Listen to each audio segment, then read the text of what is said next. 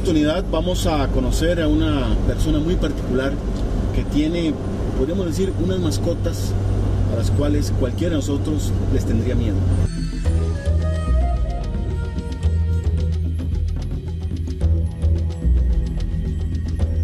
Así es.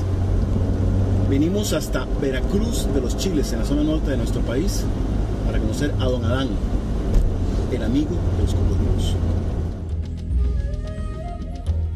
En Veracruz de los Chiles, zona norte de nuestro país, vive Adán Domínguez, un hombre que sin duda tiene una conexión especial con los animales.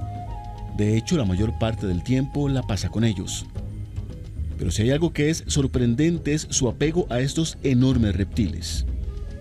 Así es, don Adán tiene en este lago 14 cocodrilos. A cinco de ellos les tiene nombre y no cabe duda que son sus mascotas más apreciadas. Eso viene ya de natural, que me gustan mucho y, entonces yo quiero, toda la vida los, les he tenido mucha, mucho aprecio, les he tenido mucho cariño y eso me ha hecho acercarme mucho a ellos. ¿Es cierto que ustedes de joven se metían en ríos que, eran, que estaban llenos de cocodrilos y los tocaba y todo lo demás? Sí, toda la vida. Eh, yo estuve en varios ríos y, aún hace poco estuve en un río bebedero.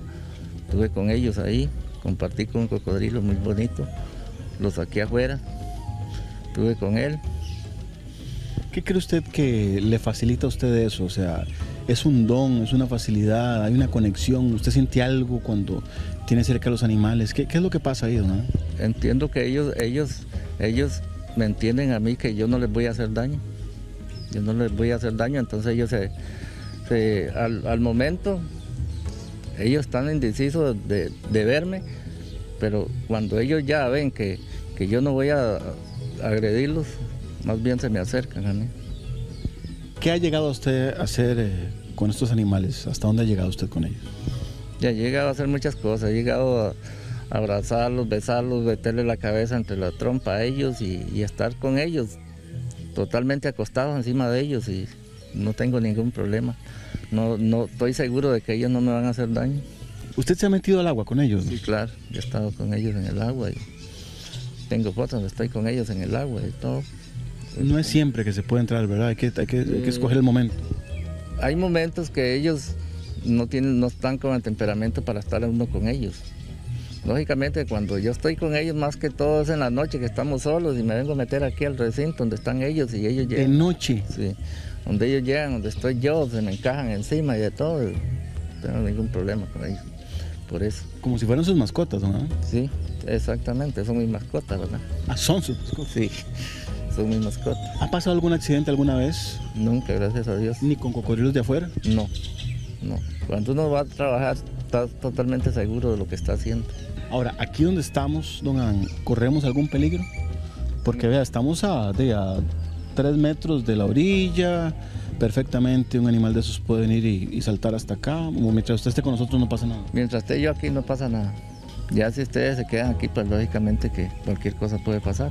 Claro. Cualquier cosa puede pasar.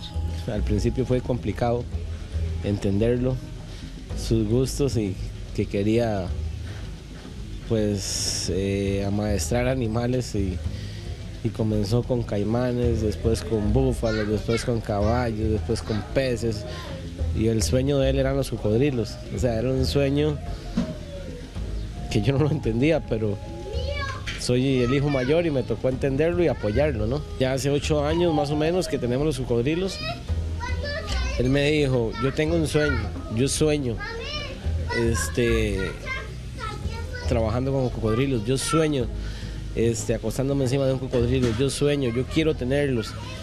Y me tocó, me tocó apoyarlo y, hoy por hoy pues da susto y da miedo, pero, pero los tiene y, eso es, es, parte de la vida de nosotros ya. A usted incluso, pues si usted muriera en las fauces de un animal de estos, a usted no le molestaría. Para nada. Yo digo a ellos que, eso no es nada, que lo sigan cuidando igual. Que, y tal vez, no creo que pase, pero puede pasar, ¿verdad? Pero cuesta mucho. Yo sé que no me van a comer. El rancho Tabacón encierra un ambiente de admiración y respeto por animales que para la mayoría son salvajes y peligrosos. Pero para Dan Domínguez serán siempre sus mejores amigos.